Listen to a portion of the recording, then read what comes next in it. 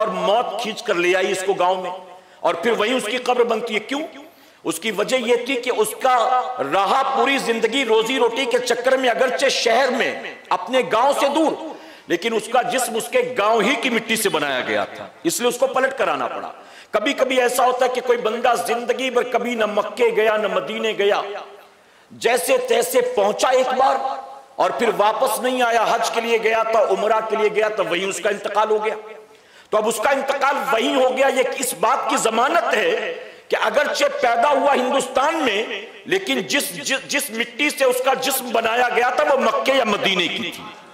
इसलिए उसको वहीं पर पलटकर आया आना आना पड़ा। वहीं पर लौटाया गया।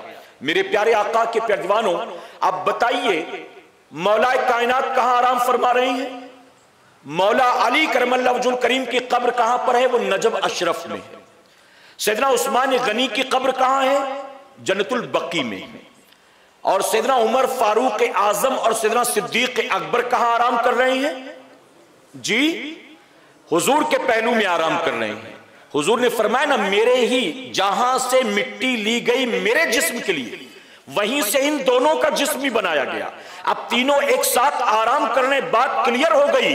नबी का फरमान बिल्कुल हक है। और आपको यह भी पता होगा, हम जब मैयत को दफन करते हैं, मिट्टी देते हैं हाथ में भर भर कर तो कुरान मुकद्दस की यही आयात पढ़ते हैं ना, मिनहा खलक नाकुम वफिया नोईद कुम व मिनहा नुखरिज कुम तारतन उखरा।